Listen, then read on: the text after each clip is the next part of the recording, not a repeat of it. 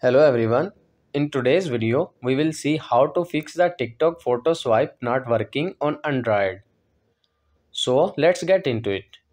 Let's navigate to the TikTok app on your smartphone and tap to open it. Once the TikTok app opens up on the mobile screen, from the right bottom tap on profile icon to open it. In the profile section, tap on these three horizontal lines and a new menu pop up from the bottom of the screen. Open settings and privacy. Scroll down the menu to find free up space. Once you find, tap to open it.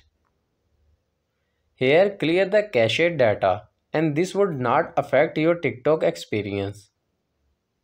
Let's go back to the home Here in the bottom bar, tap on this plus icon. And then from the right bottom, open media section. Select files that you want to use to swipe. Only one file is selected, but if you want to select more, then go back and from the bottom of the screen enable select multiple option.